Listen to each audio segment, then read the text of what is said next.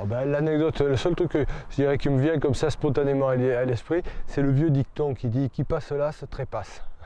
Ça montre bien que pour les anciens, euh, c'était une rivière euh, pas maléfique, mais dangereuse. Oh, sur les Blaise, c'était la pêche, bien sûr, et puis la pêche, puis on faisait aussi la baignade aussi, et ça c'était. Mais fait, c'est des choses, ça, que la pêche, moi je sais que j'aimais bien. Hein. D'ailleurs, euh, j'ai passé presque tout mon temps dans la rivière quand j'étais jeune. J'en arrivais à un point où, à force de rester comme ça, c'est de la bêtise, disons, je saignais du nez des fois, et je m'amusais à peindre les pierres avec les gouttes de sang. C'est une anecdote euh, stupide, mais enfin, bon, je, la répète. Et en fait, mes souvenirs, c'est quand j'étais euh, petit, j'avais 8 ans, 7, 8 ans, 9 ans, avec mes cousins. En fait, on avait des, semelles crampons euh, métalliques de glacier. Et on s'amusait l'hiver à remonter le ravin des sauzeries sur un kilomètre au moins, parce qu'il y avait des hivers très très très froids, très vigoureux, comme on n'en a plus revu depuis longtemps. Je me souviens que sur toutes les maisons, on avait des stalactites de, glace qui faisaient plus d'un mètre de, long et au moins 10 cm de diamètre à la base. Et donc euh, voilà, on, se retrouvait comme de véritables aventuriers à remonter le cours des ravins qui étaient complètement gelés, mais complètement. C'est-à-dire que sur 4-5 mètres de large, on avait 30 cm de glace. Voilà, ça c'est des beaux souvenirs.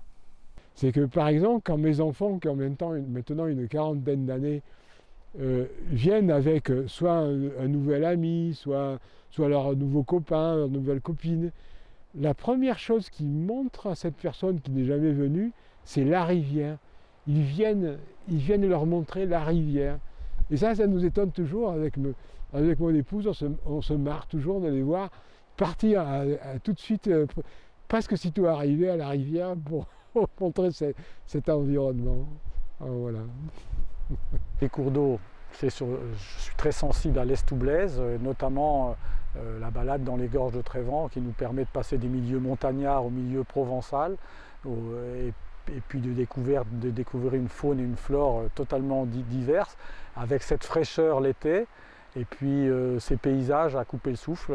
c'est quelque chose que je n'oublierai, que je ne peux pas oublier, c'est ancré dans ma mémoire. Je reviens avec ce que je disais sur, sur mes enfants c'est que quand j'étais jeune, j'avais des enfants jeunes, donc euh, euh, je les aidais à faire des barrages, et maintenant j'explique à mes petits-enfants qu'il ne faut pas plus en faire. Alors disons, on en fait, mais en permettant hein, voilà, que l'eau et que les petits poissons hein, puissent euh, remonter la rivière.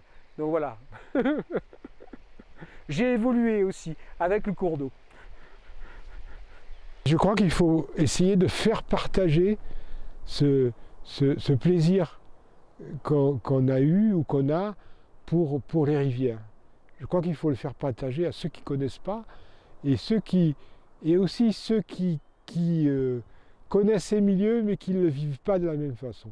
Parce qu'ils y ont toujours vécu et que pour eux c'est quelque chose de, naturel, d'évident, qui a toujours existé et, où cet aspect magique n'est pas forcément toujours, euh, toujours là.